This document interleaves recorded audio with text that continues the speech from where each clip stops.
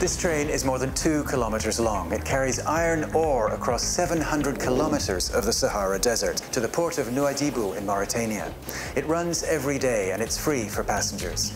Observer Hassan is a Turkish adventurer. He's aiming to visit every country in Africa by bicycle. He took a break to ride the famous train.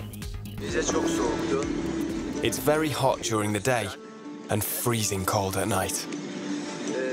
My face is covered in dust from the iron ore.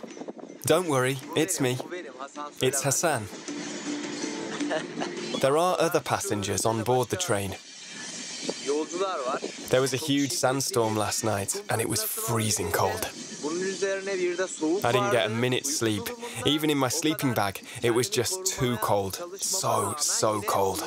I could barely open my eyes. Look at my face. Even with my glasses and my scarf, it wasn't enough to protect me. This train voyage is one of the most amazing experiences of my life. I've never seen anything like it.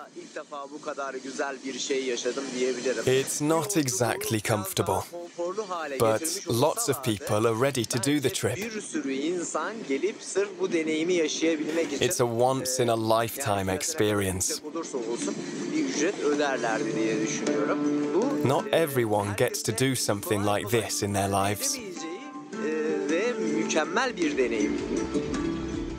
Hassan is planning to ride through 54 African countries in five years. He's visited 12 so far. You can follow his progress on YouTube.